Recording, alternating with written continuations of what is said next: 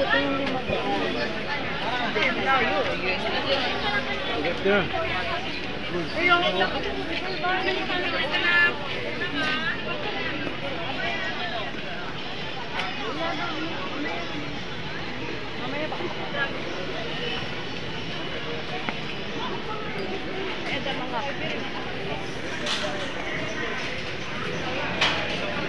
Thank you. Ako na lang babalik.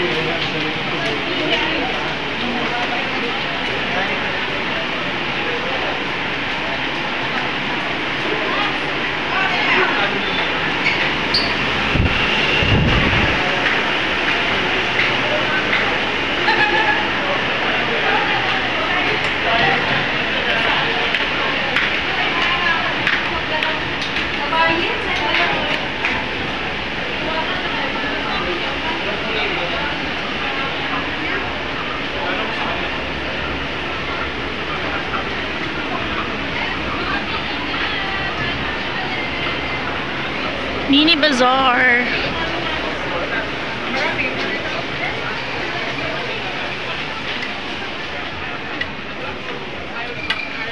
Hi guys!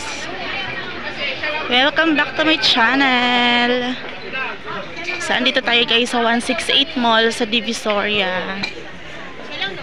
Building 1. 168 Mall Building 1 guys sa may Mini Bazaar. Ayan. So, dito guys, ang makikita nyo ay mga retail ng mga iba't ibang klaseng product.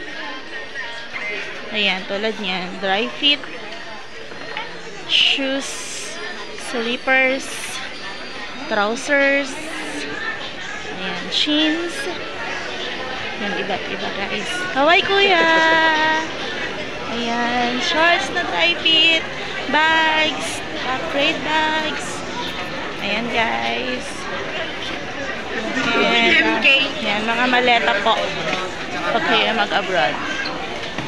Ayan, maletas. Ayan guys. Ang daming tao guys kasi linggo. So, doon naman sila. Ako guys ay dahil wala pa akong coffee at wala pa akong almusal. Ako po ay maglalagay muna ng laman sa aking chan. So, akit tayo sa third floor para kumain at magkape. Siyempre guys, wala tayong energy pag wala tayong kape. So, magkakape muna si Inday. Hindi talaga ako mabubuhay ng walang kape guys. Promise, kanina pa ako kaping kape. Kaya lang si Inday kasi dahil um, tanghali nagising, ayan, magkakape muna tayo. Ang daming ganda guys. Ayan, mga pang fashion na na sandals. Ayan guys. Oh. Diba? Mga pang modeling guys. Ito naman sa Silis. Ayan. Ang Silis guys ay kilala sa mga fashion designs ng mga damit. Mga sa may gown na mga neoprene ang tela. Mga mura ng mga gowns mga pang mga night gowns. So guys, mamili tayo kung ano yung kakainin natin. Gusto ko ng kape. So mamili tayo yung may kape. Ayan. Hanap tayo ng may kape. Potato corner. Hanap tayo guys ng may kape. Gusto ko ng kape. Guys, so may ingbitin no. So mamaya bibili tayo ng ingbitin. Masarap ang hopya sa ingbitin. May coffee. Walang coffee guys. Nakakainis. Check natin sa Jollibee kung may coffee pa.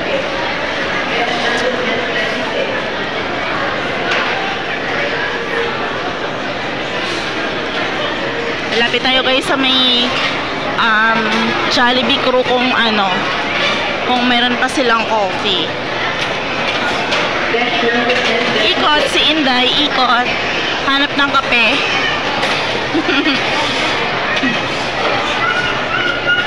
Wait lang ha. Ayan si Bida Bida oh. Hi Bida Bida.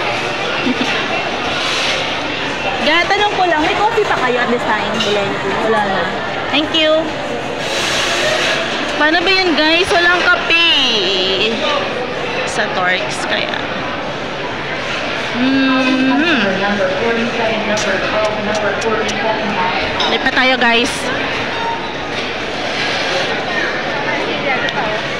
Dahil walang kape dito guys, lilipat ako sa 168 building 2 dahil doon may suki ako sa kape dito tayo dadaan sa kabila guys. So diba ang saya guys? Naghahanap si Inday ng kape sa mall.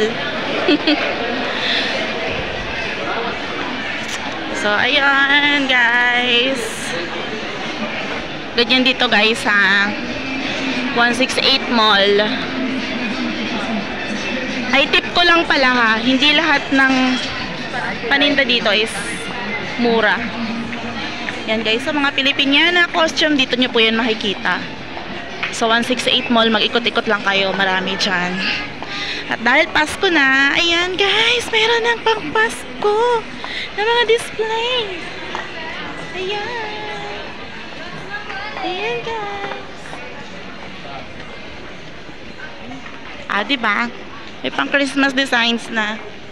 Dito tayo. Hmm?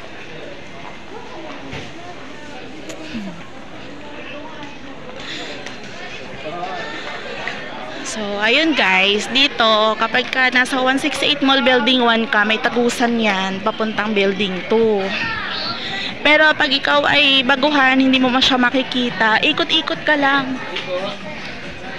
Ikot-ikot ka lang. Habaan mo yung, yung mga bias. Tapos, ikot-ikot ka lang dito. Pag hindi mo pa rin makita, pumunta ka na sa gwardiya. Or magtanong ka sa mga tindera. Tara na, kunin na lang. Ah, diba?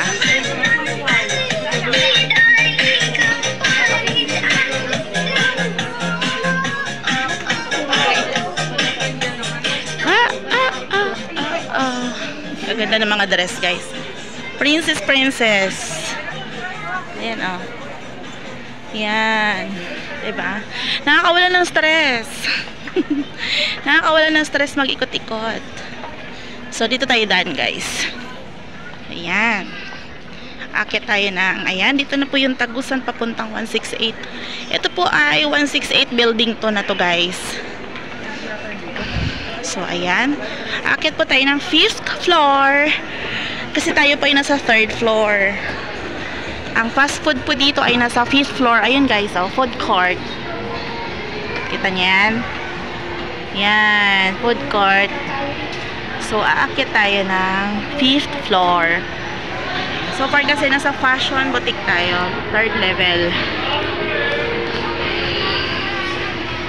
Ayan. So, dito tayo.